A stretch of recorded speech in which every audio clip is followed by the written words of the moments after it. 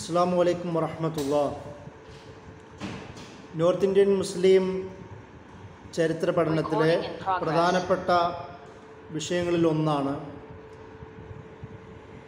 Indian ഉപഭൂഖണ്ഡത്തിലെ തന്നെ പ്രധാനപ്പെട്ട ഭരണാധികാരിയായി അല്ലെങ്കിൽ ആധുനിക ഇന്ത്യയിൽ എല്ലാവരും സെക്കുലറായും ഗ്രേറ്റ് എന്ന രീതിയിലും പരിഗണിക്കുകയും ആദരിക്കുകയും ചെയ്യുന്ന അക്ബർ ചക്രവർത്തിയെക്കുറിച്ചിട്ടുള്ള ചരിത്രം മുഗൾ കാലഘട്ടത്തെ ഇന്ത്യൻ സബ് കോണ്ടിനെന്റിൽ തന്നെ മുസ്ലിം ഭരണകാലഘട്ടത്തിലെ ഏറ്റവും കൂടുതൽ കാലം ഭരിച്ച ഭരണാധികാരി എന്ന നിലയിലും അതുപോലെ തന്നെ ഈ കാലഘട്ടത്തിലൊക്കെയും ഇന്ത്യൻ സബ് കോണ്ടിനെന്റിലെ വിവിധ മതവിഭാഗങ്ങൾക്കിടയിൽ പേര് കേട്ട ആളെന്ന നിലയിലുമെല്ലാം അക്ബർ ചക്രവർത്തിക്ക് ഒരുപാട് സ്വീകാര്യതയുണ്ട്. ഒരുപക്ഷേ ആധുനിക ഇന്ത്യയിൽ പോലും സെക്കുലറിസത്തിന് പ്രധാനമായ ഒരു ഉദാഹരണമായി അടയാളമായി ചരിത്രത്തിൽ നിന്ന് തിരഞ്ഞെടുക്കുന്നത് പോലും അക്ബറാണ് എന്നുള്ളതും നമുക്കറിയാവുന്ന കാര്യമാണ്. ഈ ഒരു സാഹചര്യത്തിൽ അക്ബറിന്റെ സെക്യുലർ കാഴ്ചപ്പാടുകൾ എത്രത്തോളം ആയിരുന്നു എന്നതും കൂടി വിലയിരുത്തേണ്ടത് ആവശ്യമാണ്. കാരണം പലപ്പോഴും ആവേശം ആവേശത്താൽ അക്ബർ എന്നത് ഇന്ത്യയിലെ മഹാനായ ഭരണാധികാരിയായിരുന്നുവെന്നും അതുപോലെ എല്ലാ മതങ്ങളോടും സ്നേഹത്തോടും സഹവർത്തത്തോടും കഴിഞ്ഞ ആളായിരുന്നുവെന്നും അങ്ങനെ ഒരു വല്ലാത്ത ഒരു പരിവേഷം നൽകുന്ന ഒരു ഒരു ചരിത്രം ആണ് പൊതുവെ ഉള്ളത്. ഒട്ടുമിക്ക മുസ്ലിം ഭരണകർത്താക്കളെയും എല്ലാം ശക്തമായ വിമർശനം അഴിച്ചുവിടുന്ന അതേ പശ്ചാത്തലത്തിൽ തന്നെ അക്ബറിനെ വാനോളം പുകഴ്ത്തുകയും അതിലൊരു പരിധിയും വെക്കാത്ത ഒരു സാഹചര്യവും കൂടി നമ്മുടെ മുമ്പിലുണ്ട്. ഇതും ഇതും കൂടെ മുന്നിൽ വെച്ചുകൊണ്ടാണ് അക്ബറിന്റെ കാലഘട്ടത്തിൽ അദ്ദേഹത്തിന്റെ തന്നെ താല്പര്യത്തോടും കൂടിയും അദ്ദേഹത്തിന്റെ ദർബാറിലുണ്ടായിരുന്ന മുല്ല ഷെയ്ഖ് മുബാറക് അദ്ദേഹത്തിന്റെ മക്കൾ ഫൈസി അബുൽ ഫസൽ പോലുള്ള ആൾക്കാർ അങ്ങനെ ബാക്കിയുള്ള ചില കൊട്ടാര പണ്ഡിതന്മാരുടെയും സൂഫികളുടെയും സന്യാസിമാരുടെയും ക്രിസ്ത്യൻ പാതിരിമാരുടെയും പാഴ്സി മത നേതാക്കന്മാരുടെയും അങ്ങനെ വിവിധ മത നേതാക്കന്മാരുടെ സഹായത്തോടു കൂടി അദ്ദേഹം രൂപീകരിച്ച ഒരു മത സംവിധാനത്തെക്കുറിച്ചും കൂടിയിട്ടാണ് നമ്മൾ പ്രധാനമായും ചർച്ച ചെയ്യാൻ ഉദ്ദേശിക്കുന്നത്. നമുക്കറിയാം അതിനെ ദീനെ ഇലാഹി എന്നുള്ള പേരുകൊണ്ടാണ് പൊതുവെ വിളിക്കുന്നത്. ഈ ഒരു ചരിത്രത്തിൽ തന്നെ അക്ബറിന്റെ കാലഘട്ടത്തിൽ തന്നെ ദീന ഇലാഹി എന്നതിനേക്കാളും അപ്പുറം അതിനെ കൂടുതൽ വിളിച്ചിരുന്നത് അവർ തൗഹീദ ഇലാഹി എന്നുള്ള ഒരു പദപ്രയോഗം വെച്ചായിരുന്നു. കാരണം നമുക്ക് ആധുനിക പല ചരിത്രകാരന്മാരുടെ രചനകളിൽ പോലും തൗ ദീന ഇലാഹി എന്നുള്ളത് അക്ബറിന്റെ കാഴ്ചപ്പാടിനെ തെറ്റിദ്ധരിപ്പിക്കുവാനുണ്ടാക്കിയ പദപ്രയോഗമാണെന്നും അത് തൗഹീദ ഇലാഹി ആണെന്നും അതുപോലെ തന്നെ അക്ബർ എല്ലാ മതങ്ങളോടും സ്നേഹപൂർവം പ്രത്യേകിച്ച് ഇസ്ലാമിനോടൊക്കെ സ്നേഹപൂർവം വർത്തിച്ച ഉള്ള ഒരു ഇമേജാണ് ആ ഒരു വിമ വിമർശനത്തിലൂടെ അവർ മുന്നോട്ട് വെക്കുന്നത്. യഥാർത്ഥത്തിൽ അദ്ദേഹം എല്ലാ മതത്തോടുകൂടി പ്രത്യേകിച്ച് ഇസ്ലാമിനോടുകൂടി കാരണം ഒരു മുസ്ലിം ഭരണ കാലഘട്ടത്തിലെ പ്രമുഖനായ ഒരു ചക്രവർത്തി എന്ന നിലയിൽ എല്ലാ ചരിത്രകാരന്മാരും അല്ലെങ്കിൽ പൊതുവേ സാധാരണ ചിന്തയിലുമെല്ലാം ഇസ്ലാമിനോടുള്ള അദ്ദേഹത്തിന്റെ കാഴ്ചപ്പാട് എന്താണ് എന്നുള്ളതും കൂടി നമ്മൾ ചർച്ച ചെയ്യാറുണ്ട്. ആ ഒരു പശ്ചാത്തലത്തിലാണ് ദീന ഇലാഹ് എന്ന് പറയുന്ന ഒരു പുതിയ മതസംവിധാനത്തോടു കൂടി അദ്ദേഹം ഇസ്ലാമിന്റെ അല്ലെങ്കിൽ മുസ്ലിങ്ങളുടെ അല്ലെങ്കിൽ ഇസ്ലാമിക ആശയങ്ങൾ അല്ലെങ്കിൽ അനുഷ്ഠാനങ്ങളെല്ലാം അതാവിധി പാലിച്ചിരുന്ന ആൾക്കാരോടുള്ള അദ്ദേഹത്തിന്റെ വളരെ ക്രൂരമായ അല്ലെങ്കിൽ വളരെ തീക്ഷ്ണമായ ഗൗരവതരമായ വിമർശിക്കപ്പെടേണ്ട ഒരു ചരിത്രവും കൂടി ദീന ഇലാഹിയുടെ പുറകിലുണ്ട് എന്നത് നമ്മൾ മനസ്സിലാക്കേണ്ടതുണ്ട്. ദീന ഇലാഹി എന്നത് എന്തുകൊണ്ടാണ്? അല്ലെങ്കിൽ അങ്ങനെയുള്ള ഒരു ഒരു ആശയം ഒരു അനുഷ്ഠാനങ്ങളുടെ ഒരു സഞ്ചയം ഒരു മിശ്രിതം അദ്ദേഹം എന്തുകൊണ്ട് രൂപപ്പെടുത്തി എന്നുള്ളത് നമ്മൾ മനസ്സിലാക്കേണ്ടതുണ്ട്. ഒരു നീണ്ട കാലത്തെ അമ്പതോളം വർഷം കാലഘട്ടത്തിന്റെ ഭരണകാല ഭരണത്തിനിടയിൽ അദ്ദേഹത്തിന്റെ മുമ്പിലുണ്ടായിരുന്നത് ബഹുഭൂരിപക്ഷം ഹിന്ദുക്കളായിരുന്നു. ബാക്കിയുള്ള വിവിധ മതസമൂഹങ്ങളും ഉണ്ടായിരുന്നു.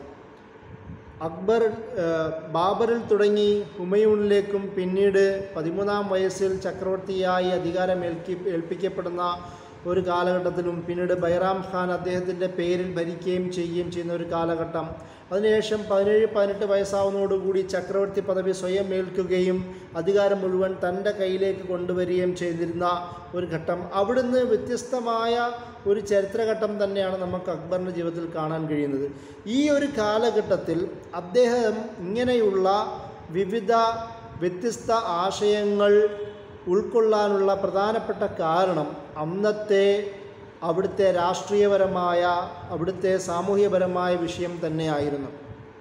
കാരണം ഇത് ഈ അദ്ദേഹത്തിന്റെ അധികാരത്തെ കൂടുതൽ കൺസോളിഡേറ്റ് ചെയ്യാൻ തന്റെ അധികാരം കൂടുതൽ വ്യാപിപ്പിക്കാൻ തന്റെ അധികാരം കൂടുതൽ തന്റെ തന്നെ നിയന്ത്രണത്തിലേക്ക് വരുത്തുവാൻ അതിലുള്ള അദ്ദേഹത്തിന്റെ വളരെ റിയലിസ്റ്റിക്കായ പ്രാഗ്മാറ്റിസത്തിന്റെ അടിസ്ഥാനത്തിലുള്ള തീരുമാനങ്ങളായിരുന്നു അക്ബർ ചെയ്ത പല കാര്യങ്ങളും.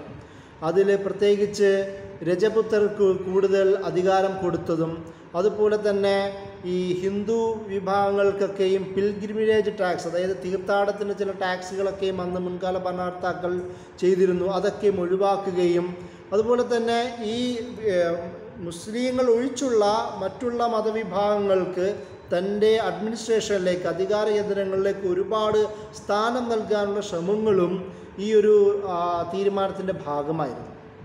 അതുകൂടാതെ തന്നെ രജപുത്ര രാജകുമാരികളുമായിട്ടുള്ള അദ്ദേഹത്തിന്റെ വിവാഹം.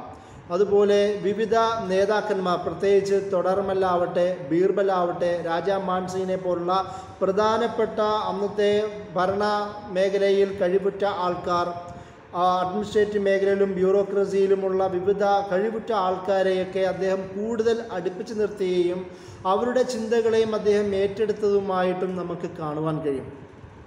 കാരണം അക്ബറിന്റെ ഒരു ജീവിതം തന്നെ നിരക്ഷരനായിട്ടാണ് തുടങ്ങുന്നത്.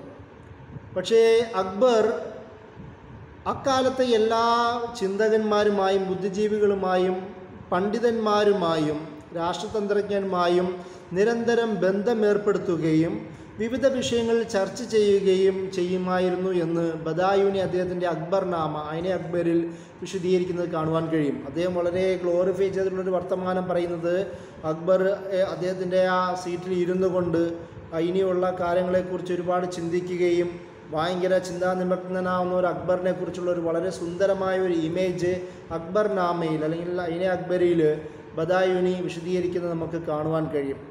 ഈ ഒരു ഘട്ടത്തിലാണ് അക്ബറിന്റെ വളർച്ച അനുസരിച്ചു കൊണ്ട് തന്നെ അദ്ദേഹത്തിന്റെ അദ്ദേഹത്തിന്റെ ദർബാറിലേക്ക് വന്ന വിവിധ പണ്ഡിതന്മാർ പ്രത്യേകിച്ച് ഷെയ്ഖ് മുല്ല അബൂബക്കർ അദ്ദേഹത്തിന്റെ പുത്രന്മാരായ ഫൈസിയും അബുൽ ഫസലും ഈ രണ്ട് പേരും വാപ്പയും ഈ രണ്ട് മക്കളും ചേർന്നുകൊണ്ട് അക്ബറിന്റെ തിയോളജിക്കലായ പൊളിറ്റിക്കലായ കൾച്ചറൽ സാമൂഹികപരമായ പല വിഷയങ്ങളിൽ പോലും ഒരു വ്യത്യസ്തമായ നിരീക്ഷണ രീതികൾ കൊണ്ടുവരുവാൻ സ്വാ സ്വാധീനം നേടി എന്നുള്ളതാണ് നമുക്ക് ചരിത്രത്തിൽ കാണുവാൻ കഴിയുന്നത്. അക്ബറിന്റെ വളരെ ഉദാരമായ പൊളിറ്റിക്കൽ പ്രാഗ്മാറ്റിസം ആവട്ടെ ലിബറൽ വാദങ്ങളാവട്ടെ എല്ലാം ഈ മൂന്ന് പേരിൽ നിന്നാണ് അവരിൽ നിന്നാണ് കൂടുതൽ ഉണ്ടായതെന്നാണ് നമുക്ക് ചരിത്രത്തിൽ കാണുവാൻ കഴിയുന്നത്. ഇതുകൊണ്ട് തന്നെ ഈ മൂന്ന് പേരുടെയും ഷേഖ് അബൂബക്കർ ആവട്ടെ ഷേഖ് മുല്ല മുബാറക്ക് ആവട്ടെ ഫൈസിയും അബുൽ ഫസലാവട്ടെ ഇവരുടെയൊക്കെ നിരീക്ഷണങ്ങൾ അക്ബറിൽ ശക്തമായ സ്വാധീനം ചെലുത്തുന്നതിൽ തന്നെ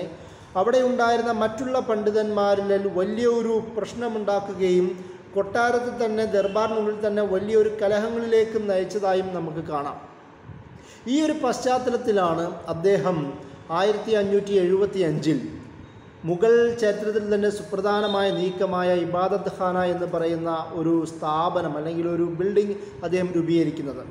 ആ അത് രൂപീകരിക്കുകയും അതിന്റെ പ്രധാന ഉദ്ദേശം എന്ന് പറയുന്നത് അദ്ദേഹത്തിന്റെ ദർബാറിൽ നടക്കുന്ന ഒട്ടുമിക്ക വിഷയങ്ങളും പ്രത്യേകിച്ച് തിയോളജിക്കലായ മെറ്റാഫിസിക്കലായ ആത്മീയമായ അതുപോലെ തന്നെ എപ്പിസ്റ്റിമോളജിക്കൽ ചർച്ച ഇങ്ങനെ വിവിധപരമായി ദീനുമായി ബന്ധപ്പെട്ട സൊസൈറ്റി സമൂഹവും മെറ്റാഫിസിക്കലും ഉപരിലോകവുമായി ബന്ധപ്പെട്ട പല വിഷയങ്ങളെയും ചർച്ച ചെയ്യുവാൻ അദ്ദേഹം തയ്യാറെടുത്തതും നമുക്ക് കാണാം. അത് ഈ ഇബാദത്ത് ഖാന എന്ന് പറയുന്ന ബിൽഡിങ്ങിന്റെ രൂപീകരണത്തോട് കൂടിയിട്ടായിരുന്നു എന്ന് നമുക്ക് കാണാം. അദ്ദേഹം അദ്ദേഹത്തിന്റെ തന്നെ ബദായുനി തന്നെ അത് കണ്ടിന്യൂ ചെയ്യുന്നുണ്ട്. അദ്ദേഹം ബദായുനി പറയുന്നത് എല്ലാ തരത്തിലുള്ള പണ്ഡിതന്മാരെയും ബുദ്ധിജീവികളെയും എല്ലാം അദ്ദേഹം തന്റെ ദർബാറിലേക്ക് വിളിച്ചു കൂട്ടുകയും അവരോട് നിരന്തരം ഈ വിഷയങ്ങളെക്കുറിച്ച് സംസാരിക്കുകയും ചെയ്യുമായിരുന്നു എന്ന് പറയുന്നുണ്ട്. ഈ കാലഘട്ടത്തിൽ തന്നെയാണ് അദ്ദേഹം പണ്ഡിതന്മാരെ മുസ്ലിം പണ്ഡിതന്മാരാവട്ടെ അതിൽ ഉലമാക്കൾ സയ്യിദ്മാർ വിവിധ ഗോത്രവർഗത്തിലെ നേതാക്കന്മാർ വിവിധ മുസ്ലിം സമൂഹങ്ങൾക്കിടയിൽ നല്ല സ്വാധീനമുള്ള നേതാക്കന്മാർ ഇവരെ എല്ലാവരെയും വിളിച്ചു വരുത്തിക്കൊണ്ട് ഇങ്ങനെയുള്ള വിഷയങ്ങൾ ചെയ്യുമായിരുന്നു. അത് ഒരു വിഭാഗം മുസ്ലിം പണ്ഡിത സമൂഹത്തിലുള്ള അദ്ദേഹത്തിന്റെ സമീപനമായിരുന്നെങ്കിൽ അതേപോലെ തന്നെ ബ്രാഹ്മണന്മാരെയും ജൈനമത പണ്ഡിതന്മാരെയും ബുദ്ധന്മാരെയും ക്രിസ്ത്യാനികളെയും പാഴ്സികളെയും അടക്കമുള്ള വിവിധ മതസമൂഹത്തിലെ പണ്ഡിതന്മാരെയും ചർച്ചയ്ക്ക് വിളിക്കുമായിരുന്നു.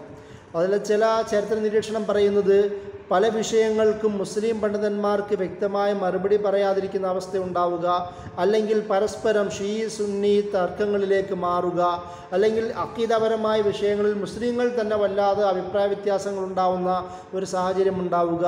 അങ്ങനെയൊക്കെ വരുമ്പോൾ അക്ബറിന്റെ ചിന്തയിലും അതുപോലെ തന്നെ ഇതര പണ്ഡിത മതസമൂഹങ്ങളിലെ പണ്ഡിതന്മാരിലേക്കുമുള്ള സ്വാധീനം കൂടുവാനും ഇത് കാരണമായി എന്ന് പറയുന്നുണ്ട്. ഞാൻ നേരത്തെ പറഞ്ഞതുപോലെ ഇതിനൊക്കെയും ഈ ഒരു അദ്ദേഹത്തിന്റെ ഇങ്ങനെയുള്ള ചിന്താഗതിയിൽ വരുന്ന മാറ്റവും അതിന് ആ മാറ്റത്തിന് മുഖ്യ കാരണക്കാരായ മുല്ല മുബാറക്കും ഫൈസിയും അബുൽ ഫസലിനെയും ബദായുനി വളരെ ശക്തമായ ഭാഷയിൽ തന്നെ അദ്ദേഹത്തിന്റെ അക്ബർനാമയിൽ വിശദീകരിക്കുന്നത് കാണുവാൻ കഴിയും.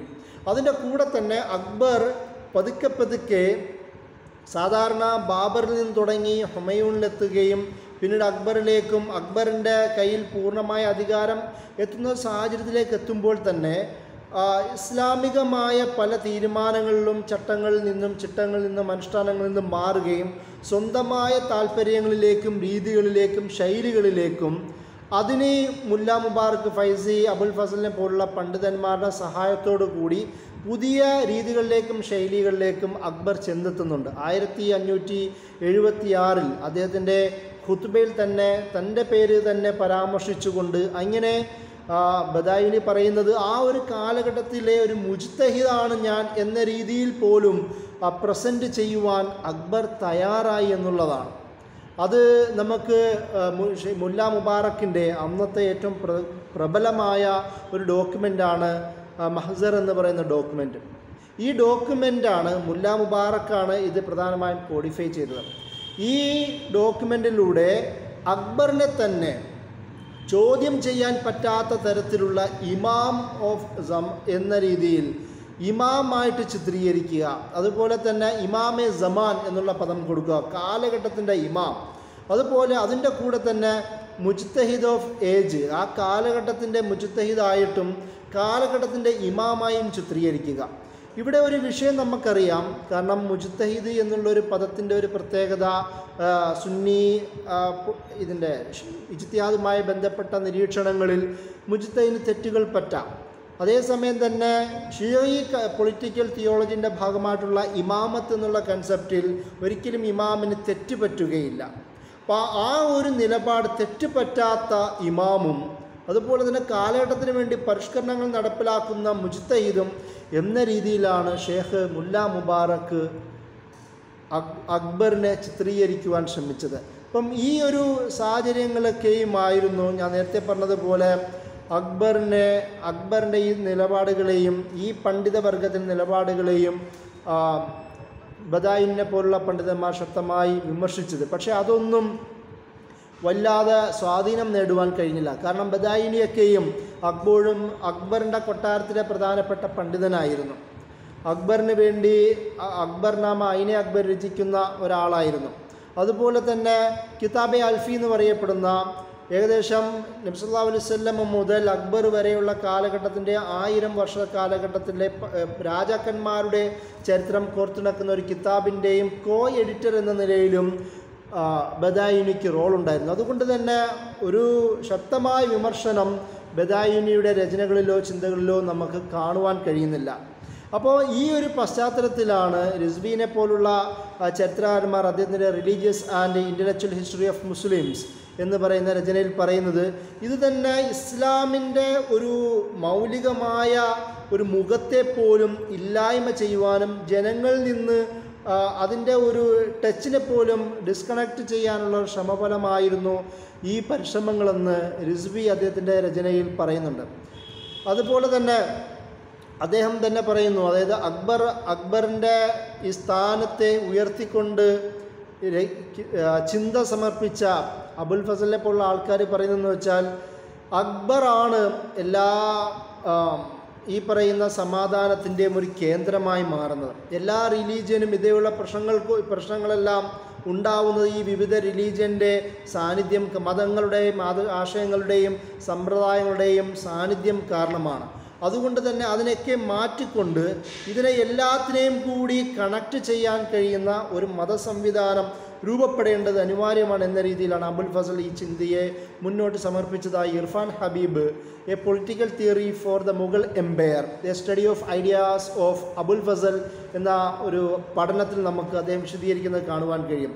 അതുപോലെ തന്നെ ഈ ഒരു കാലഘട്ടത്തിലാണ് ഈ എല്ലാ മതങ്ങളുടെയും നമ്മൾ ആധുനികമായ സർവമത സത്യവാദം എന്നതിന്റെ ഒരു പതിനാറ് പതിനേഴാം നൂറ്റാണ്ടിലെ പതിനാറാം നൂറ്റാണ്ടിലെ ഒരു രീതിയാണ് ഇതെന്ന് നമുക്ക് വളരെ എളുപ്പത്തിൽ പറഞ്ഞാൽ മനസ്സിലാക്കുന്ന ഒരു കാര്യമാണ്.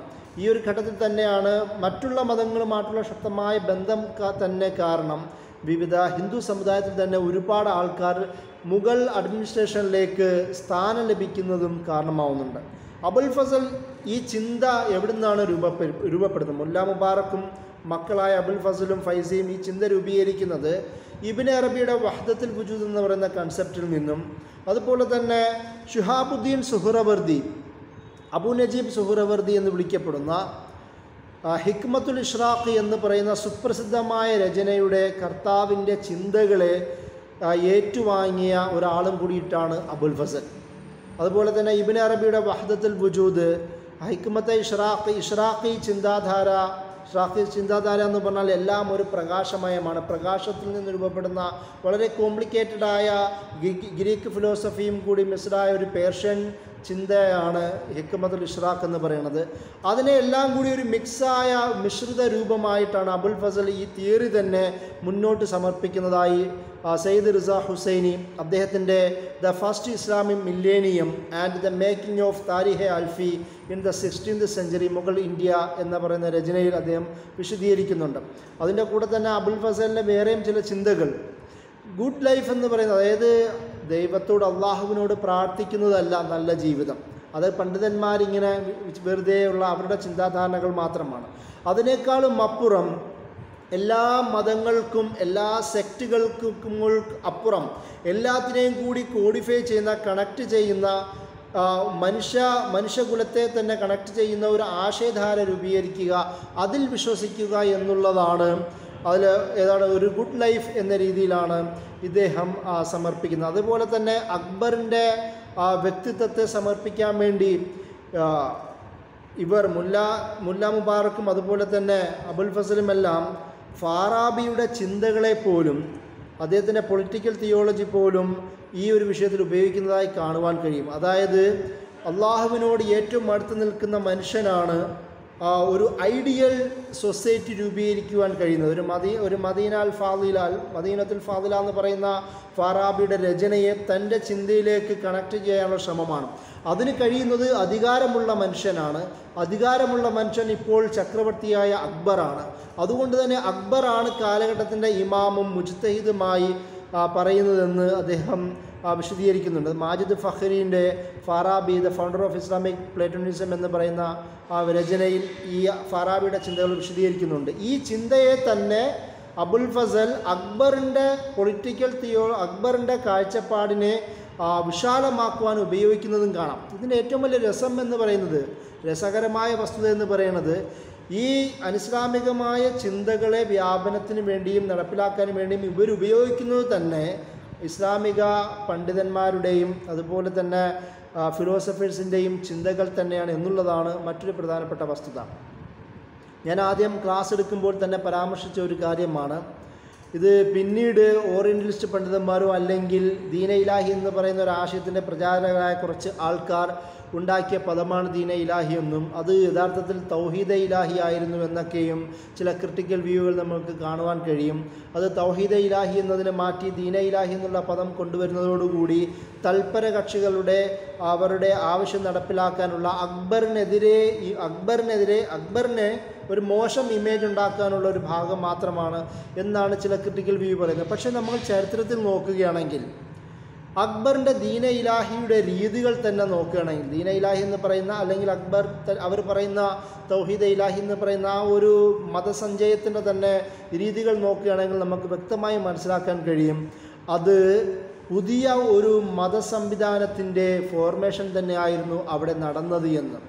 അതായത് അദ്ദേഹം ബ്രാഹ്മണിസത്തിൽ നിന്നും ജൈനമതത്തിൽ നിന്നും പാഴ്സികളുടെ സ്വരാഷ്ട്രീനിസത്തിൽ നിന്നും സിഖ് മതത്തിൽ നിന്നും ക്രിസ്ത്യാനിറ്റിയിൽ നിന്നുമെല്ലാം അവരുടെ ആശയങ്ങൾ കടമെടുക്കുക. അതിന്റെ ഭാഗമായി തന്നെ മാംസാഹാരം ഒഴിവാക്കുക. അത് ജൈനമതത്തിന്റെ പ്രധാന ആശയം എന്നുള്ളതിലാണല്ലോ മൃഗ ജീവിവർഗത്തിന് പോറലേൽപ്പിക്കാതിരിക്കുക എന്നുള്ളത് അവരുടെ ഒരു രീതിയാണ്. അപ്പോൾ അതിന്റെ ആ ആശയം കടമെടുത്തുകൊണ്ട് ആ ആ മാംസവും മൃഗങ്ങളുമായിട്ടുള്ള ബന്ധങ്ങൾ ഒഴിവാക്കുക എന്ന് പറയുന്ന ഒരു തീരുമാനം. അതുപോലെ തന്നെ പാഴ്സികളുടെ ജരദുഷ്ടരുടെ പ്രധാന ആചാരാനുഷ്ഠാനമായിരുന്നു തീ കത്തിക്കുക. അത് അതിന്റെ ഭാഗമായി അബുൽ ഫസൽ കൊട്ടാരത്തിൽ തന്നെ ഒരു എറ്റേണൽ ഫ്ലെയിം എന്ന നിലയിൽ എപ്പോഴും കത്തി നിൽക്കുന്ന ഒരു തീയുടെ സംവിധാനം ഉണ്ടാക്കുവാനായി കൽപ്പിക്കുകയും അതുപോലെ തന്നെ അത് എല്ലാവരും ആ കൊട്ടാരത്തിന്റെയും ഉള്ളിൽ തന്നെ എല്ലാവരും അതിന്റെ ഒരു പ്രത്യേക സമയത്ത് അതിനെ ആദരിക്കുകയും ചെയ്യണമെന്നുള്ള കൽപ്പിക്കുന്നതും നമുക്ക് കാണുവാൻ കഴിയും. അതിന്റെ കൂടെ തന്നെ ഇവരുടെ സൂര്യാരാധന അവിടെ ഉണ്ടായിരുന്നു. അബുൽ ഫസൽ തന്നെ അതിന് കൽപ്പിച്ചിരുന്നതായി കാണാം. അതുപോലെ തന്നെ ഗുരുഗ്രന്ഥ സാഹിബ് എന്ന് വിളിക്കപ്പെടുന്ന സിഖ് മതത്തിന്റെ അവരുടെ പ്രധാന വേദഗ്രന്ഥത്തെയും ഒരു വലിയ ഒരു ആദരവോടുകൂടി കാണുന്ന അതിനെയും തങ്ങളുടെ ആശയത്തിന്റെ ഭാഗമായി സ്വീകരിക്കുന്നതും നമുക്ക് അബുൽ ഫസലിന്റെ ചിന്തയിൽ തന്നെ കാണുവാൻ കഴിയുന്ന മറ്റൊരു പ്രധാനപ്പെട്ട വസ്തുതയാണ്. അതിന്റെ കൂടെ തന്നെ അബുൽ ഫസലിനെ പോലുള്ള ആൾക്കാർ ഉണ്ടാക്കിയ മറ്റൊരു ഇമേജാണ് നമ്മൾ അസ്സലാമു അലൈക്കും വലൈക്കും അസ്സലാം എന്ന് പറയുന്നതിന് ഭാഗം എന്ന് പകരമായി അബുൽ ഫസൽ അല്ലെങ്കിൽ ആ ടീം ഉണ്ടാക്കിയത് അവിടെ അള്ളാഹു അക്ബർ എന്ന് പറയുക അതിന് പകരം ജല്ല ജലാലുഹു എന്ന് പറയുന്ന ഒരു മറുപടി കൊടുക്കുക എന്ന രീതിയിലാണ് ഇവർ ആ ഒരു കാലത്തുണ്ടാക്കിയ മറ്റൊരു പ്രധാനപ്പെട്ട പ്രത്യേകത ഒരു മാറ്റം. അതിന്റെ കൂടെ തന്നെ അക്ബറിന് അക്ബർ മാസൂമാണ് അല്ലെ അതായത് അക്ബറിന് യാതൊരു തരത്തിലുള്ള തെറ്റുകളും കുറ്റങ്ങളും സംഭവിക്കുകയില്ല എന്ന് പറയുന്ന ഒരു വാദവും കൂടി അക്ബറിന്റെ അക്ബറിന്റെ ഇമേജിന് ഉണ്ടാക്കി കൊടുത്തു എന്നുള്ളതും നമുക്ക് അബ് അബുൽ ഫസലിന്റെ ചിന്തകളിൽ കാണുവാൻ കഴിയും. അതോടുകൂടി തന്നെ അക്ബർ എന്ന് പറയുന്നത് ഏറ്റവും നീതിമാനായ ഏറ്റവും കൂടുതൽ അറിവുള്ള ആലിമായ ഏറ്റവും വലിയ മുത്തക്കയായ അവിടെയും ദൈവവുമായി കണക്ട് ചെയ്തുകൊണ്ടാണ് അക്ബറിന്റെ ഇമേജിനെ അവർ സ്ഥാപിക്കാൻ ശ്രമിക്കുന്നത്. ഇതേ ഇവർ തന്നെയും അബുൽ ഫസലിനെ പോലെയും ബദായിനെ പോലും ഖലീഫ എന്ന് പറയുന്ന പദപ്രയോഗം പോലും അക്ബറിന് കൊടുത്തിരുന്നതായി കാണുവാൻ കഴിയും. അത് ലില്ലുള്ള അള്ളാഹുവിന്റെ ഭൂമിയിലെ അള്ളാഹുവിന്റെ നിഴലായും അതുപോലെ തന്നെ ലോകരുടെ മുഴുവൻ ഖലീഫയായും ഇമാമായും മുജിത്തഹിദായും അങ്ങനെയുള്ള ഇസ്ലാമിന്റെ പ്രധാനപ്പെട്ട ടേംസിനെ തന്നെ ഉപയോഗിച്ചുകൊണ്ടാണ് അക്ബറിന്റെ അനിസ്ലാമികമായ തീരുമാനങ്ങളെയും ചിന്തകളെയും ഈ പണ്ഡിതന്മാർ വിശദീകരിച്ചിരുന്നത് എന്നും കൂടി കാണുമ്പോഴാണ് നമുക്ക് യഥാർത്ഥത്തിൽ അന്നത്തെ ദീനയിലായുടെ ഒരു ചിത്രം മനസ്സിലാക്കുക. അതുമാത്രമല്ല ജക്കാത്ത് അക്ബർ നിരോധിച്ചു എന്ന് നമുക്ക് ചരിത്രത്തിൽ കാണാം. അതിന്റെ കൂടെ തന്നെ ഗാംബ്ലിങ് ചൂതാട്ടവും മദ്യപാനവുമെല്ലാം അദ്ദേഹം അതിനെതിരെയുള്ള വിലക്കുകൾ നീക്കിയതായും ഇസ്ലാമിൽ അനുവദനീയമായ കസിൻ കസിന്മാർക്കിടയിലുള്ള വിവാഹം അദ്ദേഹം അത് ബാൻ ചെയ്തതായും കാണുവാൻ കഴിയും. അതുപോലെ തന്നെ ഇങ്ങനെയൊക്കെയും കല്യാണവുമായി ബന്ധപ്പെട്ട ഒരുപാട് തീരുമാനങ്ങൾ ഉണ്ടാക്കിയ അക്ബർ തന്നെയും തന്റെ കല്യാണത്തിന് ഒരുപാട് വിവാഹത്തിന് വേണ്ടിയും അത് നോൺ മുസ്ലിംസ് ആയ ആൾക്കാരെ തന്നെ വിവാഹം കഴിക്കുവാനും വേണ്ടിയും പണ്ഡിതന്മാരിൽ നിന്ന് ഫത്വ ഉണ്ടാക്കി വാങ്ങിയ ആളും കൂടിയിട്ടാണ് അക്ബർ. അത് അത് തന്നെയാണ് അക്ബറിന്റെ ജീവിതത്തിലെ ഏറ്റവും പ്രധാനപ്പെട്ട രസകരമായ കാര്യം. അതിന്റെ കൂടെ കുത്തുബകളിലോ അല്ലെങ്കിൽ ബാക്കിയുള്ള ചർച്ചകളിലോ നബിസല്ലാഹു അലൈഹി വസ്ലമയോ അദ്ദേഹത്തിന്റെ അനുയായികളുടെയോ പേരുകൾ തന്നെ എടുത്തു കളയുന്ന ഒരു തീരുമാനമുണ്ടായി. അതുപോലെ ഹിജ്റ കലണ്ടർ മാറ്റി അദ്ദേഹത്തിന്റെ കാലത്തിൽ ദീന ഇലാഹിന്റെ ഭാഗമായി അതിന് രൂപപ്പെടുത്തിയ ഇലാഹി കലണ്ടർ അദ്ദേഹം മുന്നോട്ട് വെച്ചതായി അഫ്രോസ് അഹമ്മദ് ബിസാത്തി ഷേഖ് അഹമ്മദ് സർഹിന്ദിനെ കുറിച്ചിട്ടുള്ള രചനയിൽ. Sheikh Ahmad Sirhindi's thought and its impacts on the devel development of Sufism എന്ന് പറയുന്ന രചനയിൽ അഫ്രോസ് അഹമ്മദ് ബിസാത്തി അത് വിശദീകരിക്കുന്നുണ്ട്. അതായത് നബിയുടെയും പ്രവാചകന്മാരുടെയും പ്രത്യേകിച്ച് നബ്സല്ലാ അലൈഹി സ്വലമയുടെയും അനുയായിയുടെയും പേര് പോലും ഖുത്തുബയിൽ നിന്ന് വെള്ളിയാഴ്ച ഹുത്തുബയിൽ നിന്ന് എടുത്തു കളയുന്ന ഒരു തീരുമാനമുണ്ടായി. പ്രമുഖ പണ്ഡിതനായിരുന്ന അബുൽ ഹക്കുൽ അൻസാരി സാഹിബ് അദ്ദേഹത്തിന്റെ സൂഫിസമാൻ ശരീരത്ത് എന്ന് പറയുന്ന രചനയിൽ ഇതിന്റെ ഒരു എഫക്റ്റിനെ കുറിച്ച് സംസാരിക്കുന്നുണ്ട്. അതായത് ഇസ്ലാം തന്നെ മറ്റുള്ള മതങ്ങളിൽ നിന്ന് ഇല്ലാതായി പോരുന്ന അവസ്ഥയിലേക്ക് പോലും അതിന്റെ ഒരു ചലനാത്മകത ഇല്ലാതാവുകയും കൂടുതൽ ആൾക്കാർക്കിടയിൽ ഞെരുക്കം അനുഭവപ്പെടുകയും ഇസ്ലാം തന്നെ ഇസ്ലാമിനെക്കുറിച്ചുള്ള ചർച്ചകൾ പോലും തെറിവിളിക്കുന്ന ഒരു അവസ്ഥയിലേക്ക് എത്തുന്ന ഒരു സാഹചര്യം ഉണ്ടായി എന്ന് അദ്ദേഹം വിശദീകരിക്കുന്നുണ്ട്. അതുപോലെ തന്നെ ഇതുമായി ബന്ധപ്പെട്ട് നിരവധി പണ്ഡിതന്മാരുടെ ഒരു സാഹചര്യം വിശദീകരിക്കുന്നുണ്ട്. ഇസ്ലാമിനെക്കുറിച്ചുള്ള സംസാരങ്ങളൊക്കെ ഉണ്ടാവുകയാണെങ്കിൽ അത് വളരെ പ്രശ്നമുള്ള ഒരു ഒരു സാഹചര്യത്തിലായിരുന്നു. ആരെങ്കിലും പ്രവാചകനെക്കുറിച്ചോ ഖുറാനെക്കുറിച്ചോ അതേപോലെ സ്വഹാബികളെക്കുറിച്ച് സംസാരിക്കുകയാണെങ്കിൽ അവർ പരിഹസിക്കപ്പെടുന്ന ഒരു സാഹചര്യവും കൂടി ഉണ്ടാകുമായിരുന്നു എന്ന് പറയുന്നുണ്ട്. അതുപോലെ തന്നെ ദീന ഇലാഹിയുടെ ചില റിച്വൽസും കസ്റ്റംസിനെയും കുറിച്ച് വിൻസെന്റ് ആർ ദ സ്മിത്ത് അദ്ദേഹത്തിന്റെ അക്ബർ ദ ഗ്രേറ്റ് മുഗൾ എന്ന് പറയുന്ന രചനയിൽ പറയുന്നുണ്ട്. അദ്ദേഹം പറയുന്നത് ആ ഒരു കാലഘട്ടത്തിൽ ഒരാൾക്കും മുഹമ്മദ് എന്നുള്ള പേരിടാൻ പാടില്ലായിരുന്നു. ഇതിന്റെ ഭാഗമായി ഉണ്ടാക്കിയ നിയമമായിരുന്നു. മുഹമ്മദ് എന്ന് പറയുന്ന നിയമം ഇടാൻ പാ ആ, ഹറാമാക്കി. അതുപോലെ ആരെങ്കിലും ഇങ്ങനെ പേരിടുകയാണെങ്കിൽ അത് മാറ്റണമെന്നാക്കി. പുതിയ പള്ളികൾ പണിയുന്നത് നിർത്തലാക്കി. അതുപോലെ തന്നെ ഇനി ആ എന്തെങ്കിലും പള്ളികൾക്ക് പ്രശ്നമുണ്ടെങ്കിൽ അതിൽ റിപ്പയറോ അതുപോലെ റീസ്റ്റോറോ അതുമായുള്ള ഒരു നടപടികളും ഉണ്ടാവാൻ പാടില്ല എന്ന് പറഞ്ഞു.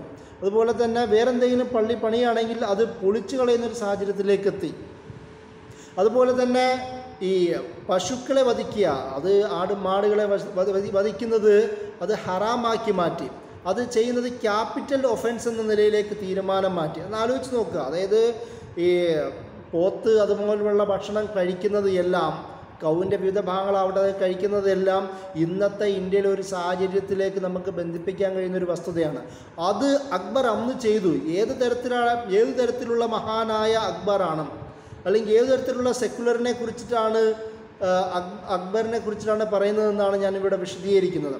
അതായത് ഹിന്ദു സമൂഹത്തിന്റെ അല്ലെങ്കിൽ പ്രത്യേകിച്ച് ബ്രാഹ്മണ സമൂഹത്തിന്റെ താല്പര്യങ്ങളെ സംരക്ഷിക്കുവാൻ വേണ്ടി ഈ പശുക്കളെയും അല്ലെങ്കിൽ അതുമായി ബന്ധപ്പെട്ട വധങ്ങൾ ഹറാമാക്കുന്ന ഒരു തരത്തിലേക്കും അതുപോലെ തന്നെ മാംസം ഭക്ഷിക്കുന്ന ഒരു നൂറ് ദിവസത്തോളം ഒരു ഒരു വർഷത്തിലെ നൂറ് ദിവസത്തോളം മാംസം ഭക്ഷിക്കുന്നതിൽ നിന്ന് മാറി നിൽക്കുക എന്ന് പറയുന്ന കൽപ്പന ഉണ്ടാവുക. അതുപോലെ തന്നെ ആരെങ്കിലും അങ്ങനെ കഴിക്കുകയാണെങ്കിൽ അവർക്കെതിരെ ശക്തമായ നിയമ നിയമ നടപടി ഉണ്ടാവുക. അവരുടെ വസ്തുക്കളെ പിടിച്ചു കെട്ടുക.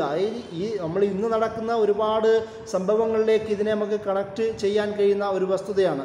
അതുപോലെ തന്നെ ഈ മാംസം കഴിക്കുന്ന ഒരുപാട് മുസ്ലിം ഫാൻ കുടുംബങ്ങൾക്കെതിരെ ശക്തമായ നിയമ നടപടികൾ സ്വീകരിക്കുവാനും ഈ ഒരു നിയമം കാരണമാക്കിയെന്നതും കൂടിയാണ്. അതിനേക്കാളും അപ്പുറം താൻ വലിയൊരു മഹതിയാണെന്ന് പ്രഖ്യാപിക്കുക. അതുപോലെ തന്നെ ഈ ഒരു നൂറ് ആയിരം വർഷങ്ങൾക്കിടയിലുള്ള മുസ്ലിം സമൂഹത്തിലേക്കും ലോക ജനതയിലേക്കും വന്ന വലിയൊരു നേതാവായി സ്വയം മാറുക. അതിന്റെ കൂടെ തന്നെ മറ്റൊരു പ്രധാനപ്പെട്ട പ്രത്യേകത ഹിന്ദുക്കൾക്കിടയിൽ തന്നെ ചില കഥകൾ പോലും ഉണ്ടായി. അവർക്കിടയിൽ വരുന്ന ഒരു അവരെയും കൂടി രക്ഷിക്കാൻ വരുന്ന പ്രത്യേകിച്ച് ഈ ഈ പശുക്കളെയും മൃഗങ്ങളെയൊക്കെ വധിക്കുന്ന വരത്തന്മാരായ മോശക്കാരായ ആൾക്കാരിൽ നിന്നും രക്ഷിക്കുന്ന ഒരു ഭരണാധികാരി തങ്ങൾക്കിടയിലും ഉണ്ടാകുമെന്ന് പറയുന്ന ഒരു കഥ പോലും അതിന്റെ ഒരു പ്രവചനമാണ് അക്ബർ. അതിന്റെ ഒരു പ്രവചനത്തിന്റെ സാക്ഷാത്കാരണമാണ് അക്ബർ എന്ന രീതിയിൽ പോലും ചർച്ചകൾ അതുമായി ബന്ധപ്പെട്ട കഥകൾ പോലും ഉണ്ടായി വരുന്ന ഒരു സാഹചര്യം കൂടി അക്ബറിന്റെ കാലത്ത് ഉണ്ടാവുന്നുണ്ട് അതുപോലെ തന്നെ താടി വടിക്കുക താടി വടിക്കണം എന്ന് പറയുന്ന കൽപ്പന അതുപോലെ തന്നെ ബീഫിനൊപ്പം മാംസാഹാരത്തിനൊപ്പം ഗാർലിക്കും അതുപോലെ തന്നെ ഉള്ളിയും വെളുത്തുള്ളിയും അതുപോലെ ഇങ്ങനെയുള്ള കാര്യങ്ങളും ഹറാമാക്കുന്ന തീരുമാനമുണ്ടാവുക. അക്ബറിന്റെ മുമ്പിൽ സുജൂത് ചെയ്യുക എന്ന് പറയുന്ന ഒരു കൽപ്പന ഉണ്ടാവുക അതുപോലെ തന്നെ മുസ്ലിങ്ങൾക്ക് ഹറാമായ ആണുങ്ങൾക്ക് ഹറാമായ സ്വർണവും അതുപോലെ തന്നെ പട്ടുവസ്ത്രങ്ങളും നിർബന്ധിതമായി ധരിക്കുക എന്ന് പറയുന്ന ഒരു തീരുമാനമുണ്ടാവുക. അതുപോലെ തന്നെ നമസ്കാരവും ആ, ഹജ്ജ് മോയുള്ള കാര്യങ്ങളും ഈ ഒരു കാലഘട്ടത്തിൽ അതായത് ദീന ഇലാഹി എന്ന് പറയുന്ന അക്ബറിന്റെ ഒരു അവസാന കാലഘട്ടത്തിലേക്ക് എത്തുമ്പോൾ ഇങ്ങനെയുള്ള കാര്യങ്ങൾ പോലും നിരോധിക്കുന്ന ഒരു സാഹചര്യം ഉണ്ടായി വരുന്നതായി ഇദ്ദേഹം വിൻസ് വിൻസെന്റ് സ്മിത്ത് വിശദീകരിക്കുന്നുണ്ട്. എന്ന് മാത്രമല്ല ഇസ്ലാമിക് സ്റ്റഡീസിന്റെ ഇസ്ലാമിക വിജ്ഞാനങ്ങളെക്കുറിച്ചുള്ള പാഠങ്ങൾ അറബി ഭാഷയുടെ പാഠങ്ങൾ അതൊക്കെയും നിർത്തലാക്കുകയും കൂടുതൽ സംസ്കൃത സംസ്കൃതം വൽക്കരിക്കപ്പെട്ട ഹിന്ദിക്ക് ആ ഒരു ഭാഷയ്ക്ക് കൂടുതൽ അതായത് അറബിക് അറബിയേക്കാളും അപ്പുറം ഇന്ത്യയിൽ ഉണ്ടായിരുന്ന ഹിന്ദുക്കൾ അധികം ബ്രാഹ്മണന്മാർ അധികം ഉപയോഗിച്ചിരുന്ന ഭാഷയ്ക്ക് കൂടുതൽ പോപ്പുലാരിറ്റിയും ആധികാരികതയും നൽകുന്ന തീരുമാനമുണ്ടാവുക എന്നതും ഇദ്ദേഹത്തിന്റെ കാലഘട്ടത്തിലെ മറ്റൊരു പ്രധാനപ്പെട്ട പ്രത്യേകതയാണ്. അതിന്റെ കൂടെ തന്നെ വ്യഭിചാരവുമായി മുമ്പ് മുൻ ഭരണാധികാരികൾ ഉണ്ടാക്കിയെടുത്ത തീരുമാനങ്ങളൊക്കെയും റിമൂവ് ചെയ്യുന്ന അവസ്ഥയുണ്ടാവുക. ഈ ഒരു സാഹചര്യത്തിലാണ് ഇത്രയും ശക്തമായ അവിടുത്തെ മുസ്ലിങ്ങളുടെ ജീവിതത്തെ ശക്തമായും കൺട്രോൾ ചെയ്യുന്ന സപ്രസ് ചെയ്യുന്ന ഒരു സാഹചര്യം. ഐഡിയോളജിക്കലി വിവിധ വിവിധ ആശയങ്ങൾ പ്രത്യേകിച്ച് പേർഷ്യൻ ചിന്താധാരകൾ ഇവിടെയുണ്ട് ജൈന ബുദ്ധ ഹിന്ദു ക്രിസ്ത്യൻ ചിന്താധാരകൾ ഇസ്ലാമിനേക്കാളും ശക്തമായ സ്വാധീനം തേടുന്ന ഒരു സാഹചര്യം. സാമ്പത്തികമായ മേഖലയിൽ മുസ്ലിങ്ങൾക്ക് ഒരുപാട് പ്രശ്നങ്ങൾ ഉണ്ടാകുന്ന സാഹചര്യം. അതുപോലെ തന്നെ അങ്ങനെ ഒരുപാട് ഒരാളുടെ വ്യക്തി ജീവിതത്തിലും വിശ്വാസ ജീവിതത്തിലും സാമൂഹ്യപരമായ ഇടപെടലുകളിലും ആചാരാനുഷ്ഠാനങ്ങളിലുമെല്ലാം ഒരുപാട് ബുദ്ധിമുട്ടുണ്ടാക്കുന്ന ഒരു സാഹചര്യം കൂടിയിട്ടായിരുന്നു അക്ബർ. ഈ അക്ബറിനെ കുറിച്ചിട്ടാണ് നമ്മൾ ഇന്ന് സെക്യുലറിസത്തിന്റെ ഏറ്റവും നല്ല ഉദാഹരണമായി പറയുകയും ചെയ്യുന്നുള്ളതാണ് വളരെ രസകരമായ കാര്യം. അതായത് ഈ ഒരു സാഹചര്യത്തിലും കൂടിയിട്ടാണ് ഇതിനെയൊക്കെയും ഇല്ലാതാവുക അല്ലെങ്കിൽ ഇതിനെതിരെ റിബൽ ശബ്ദമുയർത്തുന്ന ഒരു പണ്ഡിതനുണ്ടാവുന്നത്. ഷേഖ് അഹമ്മദ് സർഹിന്ദിയാണ് അതിന് നേതൃത്വം കൊടുക്കുന്നത്. ആയിരത്തി അഞ്ഞൂറ്റി അറുപത്തി മൂന്നിൽ ജനിക്കുകയും ആയിരത്തി അറുന്നൂറ്റി ഇരുപത്തി നാലിൽ മരണപ്പെടുകയും ചെയ്ത അദ്ദേഹം ഇന്ത്യൻ ഉപഭൂഖണ്ഡത്തിലെ മുജദ്ദിദെ അൽഫസാനി രണ്ടാം സഹസ്രാബ്ദത്തിലെ മുജദ്ദിദ് പരിഷ്കർത്താവ് എന്ന രീതിയിലാണ് ലോകം മുഴുവനും അറിയുന്നത്. ഇന്ന് അദ്ദേഹത്തിന്റെ ചിന്തയുടെ ഭാഗം ഒരു മുജദ്ദിദിയ സിൽസില എന്ന പേരിൽ പോലും തുർക്കിക്ക് സെൻട്രൽ ഏഷ്യൻ തുർക്കി ഭാഗങ്ങളിൽ അറിയപ്പെട്ട ഒരു സിൽസില പോലും രൂപപ്പെടുന്ന നിലനിൽക്കുന്നതായി നമുക്ക് അറിയാം. അതുപോലെ തന്നെ അദ്ദേഹം ആ ഭാഗങ്ങളിൽ ഇമാം റബ്ബാനി എന്നുള്ള പേരിലും കൂടിയിട്ടാണ് അറിയപ്പെടുന്നത്. എന്തുകൊണ്ടാണ് ഷെയ്ഖ് അഹമ്മദ് സർഹിന്ദിക്ക് ഇത്രയും വിവിധ ലോകത്തിന്റെ മുസ്ലിം ഭാഗങ്ങൾ ഇത്രയും സ്വാധീനമുണ്ടാവാൻ കാരണം. അതിന് അദ്ദേഹത്തിന്റെ ദീന ഇലാഹിയെ പോലുള്ള ഒരു ഭരണകൂടത്തിന്റെ അധികാരം ഉപയോഗിച്ചുകൊണ്ട് പ്രത്യേകിച്ച് മുസ്ലിങ്ങൾക്കെതിരെ ശക്തമായ സപ്രഷൻ നടപ്പിലാക്കിയ ഒരു ഭരണകർത്താവിനെയും അദ്ദേഹത്തിന്റെ ആചാരാനുഷ്ഠാനങ്ങളെയും ശക്തമായി ചേർത്ത് തോൽപ്പിച്ച പണ്ഡിതൻ എന്ന നിലയിലായതുകൊണ്ട് തന്നെയാണ് ഷെയ്ഖ് അഹമ്മദ് സർഹിന്ദിക്ക് ഇസ്ലാമിക ലോകത്ത് ഇത്രയും വലിയ സ്ഥാനമുണ്ടാവുകയും ഈ രണ്ടാം സഹസ്രാബ്ദത്തിലെ മുജദിദ് എന്ന നിലയിൽ അദ്ദേഹത്തിന് പേര് കൊടുക്കുവാനും കാരണമാവുകയും ചെയ്യുന്നത്. അദ്ദേഹത്തിന്റെ ഉസ്താദായിരുന്ന ഹസ്രത്ത് ബാക്കിബില്ല അദ്ദേഹത്തിന്റെ സുഹൃത്തുക്കളിൽ ഒരാൾക്ക് ഒരു കത്തയക്കുന്നുണ്ട്. ഒരു ചെറുപ്പക്കാരനായ ഷെയ്ഖ് അഹമ്മദ് സർഹിന്ദിൽ നിന്ന് വന്ന് എന്നെ കാണുവാനുണ്ടായി ഒരുപാട് കഴിവുകളുള്ള ഒരു ആളാണ് അദ്ദേഹം. അദ്ദേഹം ഇന്ന് ഇനി ലോകത്തിന് മുഴുവൻ ലോക ജനതയ്ക്ക് മുഴുവൻ പ്രകാശം നൽകുന്ന ഒരാളായി അദ്ദേഹം അതിന്റെ ഒരു നേതാവായി അദ്ദേഹം മാറുമെന്ന് ബാക്കി വില്ലയുടെ പ്രവചന സന സമാനമായ ഒരു കത്ത് അദ്ദേഹത്തിന്റെ സുഹൃത്തിന് അയക്കുന്നതായി നമുക്ക് കാണാം. അതിന്റെ തന്നെ സാക്ഷാത്കാരം തന്നെയായിരുന്നു അദ്ദേഹത്തിന്റെ പിൽക്കാല ജീവിതമെന്നും നമുക്കറിയാം. അതായത് സർഹിന്ദി അദ്ദേഹം ഉയർന്നു വരികയും അക്ബറിന്റെ കാലഘട്ടത്തിലെയും ദർബാറിലെയും സകലവിധ ജാഹിലി പ്രവർത്തനങ്ങളെയും അനിസ്ലാമികമായ കാര്യങ്ങളെയും മുസ്ലിങ്ങൾക്കെതിരെയുള്ള സപ്രഷനെതിരെയും ശക്തമായ ഭാഷയിൽ തന്നെ സംസാരിക്കുകയും അതിന്റെ കൂടെ തന്നെ അതിന്റെ പേരിൽ പലവട്ടം ദർബാരി പണ്ഡിതന്മാരുമായും ശക്തമായ ഏറ്റുമുട്ടലിന് പോലും കാരണമാവുകയും ചെയ്യുന്നുണ്ട്. ഒരു കാലഘട്ടത്തിൽ അക്ബറിന് ശേഷം അധികാരത്തിൽ വന്ന ജഹാംഗീറിന്റെ കാലഘട്ടത്തിൽ ചില ദർബാരി പണ്ഡിതന്മാർ അതായത് ദീന ഇലാഹി തന്നെ ഏറ്റുപിടിച്ചിരുന്ന പല ചില ദർബാരി പണ്ഡിതന്മാർ ജഹാംഗീറിന് മുമ്പിൽ സയ്യിദ് അഹമ്മദ് സർഹിന്ദിനെ കുറിച്ച് മോശമായ ചില കാര്യങ്ങൾ പറഞ്ഞു കൊടുക്കുകയും അദ്ദേഹം അക്കീദയിൽ പിഴച്ച ആളാണെന്നും നബിയേക്കാളും മറ്റുള്ള ആൾക്കാരെക്കാളും അക്ബറിനേക്കാളും വലിയ ഈമാൻ വാദിക്കുന്നവനാണെന്ന് പറയുന്ന ചില വാദങ്ങൾ പറയുകയും അതിന്റെ പേരിൽ ഗോളിയോറിലെ ഫോർട്ടിൽ അവിടുത്തെ കോട്ടയിൽ ഇദ്ദേഹത്തെ തടവിലിടുകയും ചെയ്യുന്നുണ്ട്. പക്ഷെ എന്നാൽ അതേ ജഹാംഗീർ തന്നെ ജഹാംഗീറിനെ തന്നെ ഇദ്ദേഹത്തിന്റെ വ്യക്തിത്വം സ്വാധീനിക്കുകയും ജഹാംഗീർ പിന്നീട് അദ്ദേഹത്തെ ജയിലിൽ നിന്ന് വിടുകയും ചെയ്യുന്ന ഇത് നമുക്ക് കാണാം. ജഹാംഗീറിന്റെ ജീവിതത്തിലും ജഹാംഗീറിന്റെ കാലഘട്ടത്തിലെ ഇസ്ലാമിക വ്യാപനത്തിലും ജഹാംഗീറിന്റെ തന്നെ മുസ്ലിങ്ങളോടുള്ള സമീപനത്തിൽ ജഹാംഗീർ തന്നെ ദീന ഇലാഹി ഒഴിവാക്കുന്നതിലും കൊട്ടാരത്തിലുള്ള സുജൂത് പോലുള്ള ബാക്കിയുള്ള പല ആ, അനിസ്ലാമികമായ ആചാരങ്ങളെയും ഇല്ലാതാക്കുന്നതിൽ പോലും സയ്യിദ് അഹമ്മദ് സർഹിന്ദിയുടെ റോൾ വളരെ പ്രധാനപ്പെട്ടതായിരുന്നു. അതുകൊണ്ട് തന്നെ ജഹാംഗീറിന്റെ മകൻ ഷാജഹാനും ഷാജഹാന്റെ മക്കൾ പ്രധാനമായും ഔറംഗസേബിനടക്കമുള്ള പണ്ഡിതന്മാരുമെല്ലാം അത്രയും വലിയ ഒരു ഒരു ഇസ്ലാമിക ബോധം നിലനിർത്തുന്നതിൽ പ്രത്യേകിച്ച് സയ്യിദ് അഹമ്മദ് സർഹിന്ദിയുടെ കോൺട്രിബ്യൂഷനാണ് പ്രധാന കാരണം. അതേപോലെ തന്നെ സയ്യിദ് അഹമ്മദ് സർഹിന്ദി തന്നെ ഞാൻ നേരത്തെ പറഞ്ഞതുപോലെ ദീന ഇലാഹിയുടെ മുഴുവൻ സ്വാധീനത്തെയും ജഹാംഗീറിന്റെ കാലത്ത് തന്നെ ഇല്ലാതാക്കുവാനും ആ അവിടെ ഒരു തൻ മുമ്പുണ്ടായിരുന്ന തരത്തിൽ ഇസ്ലാമികമായ ഒരു കാഴ്ചപ്പാടിൽ അത് ഭരണകൂടത്തിലെ ഭരണത്തിന്റെ മുമ്പിൽ സമർപ്പിക്കുവാനും പിന്നീട് വന്ന ഭരണാധികാരികളിൽ ദീനയിലായുടെ മുഴുവൻ സ്വാധീനം ഇല്ലാതാക്കിക്കൊണ്ട് തനതായ ഇസ്ലാമിന്റെ ഒരു ബോധം ഉണ്ടാക്കി കൊടുക്കുവാനും ഔറംഗസേബിനെ പോലുള്ള ഒരു വലിയ ഭരണാധികാരിയുടെ ദീനീ ബോധത്തിൽ ഒരു മതപരമായ ബോധത്തിലും വ്യക്തി ജീവിതത്തിലെ പിൽക്കാലത്തെ ബോധത്തിലുമെല്ലാം ശക്തമായ സ്വാധീനം ഉണ്ടാക്കിയത് സയ്യിദ് അഹമ്മദ് സർഹിന്ദിയും അദ്ദേഹത്തിന്റെ മക്കളുമാണ് എന്ന് നമുക്ക് ചരിത്രത്തിൽ നോക്കുമ്പോൾ കാണുവാൻ കഴിയും. അപ്പോൾ ഈ ഒരു തരത്തിൽ ദീന ഇലാഹിയുടെ സ്വാധീനത്തെ തന്നെ ഇല്ലാതാക്കുവാൻ സയ്യിദ് അഹമ്മദ് സർഹിന്ദിക്ക് കഴിഞ്ഞു എന്നുള്ളതാണ്.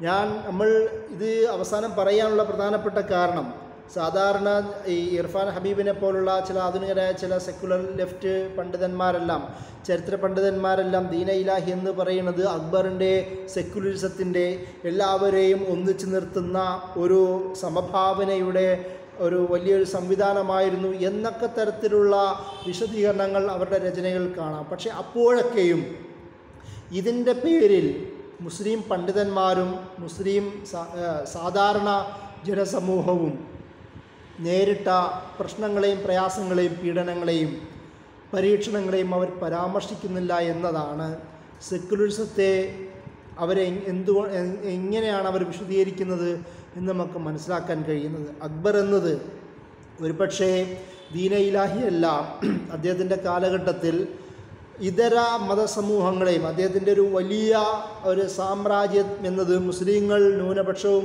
മറ്റുള്ളവർ ഭൂരിപക്ഷവുമാണല്ലോ.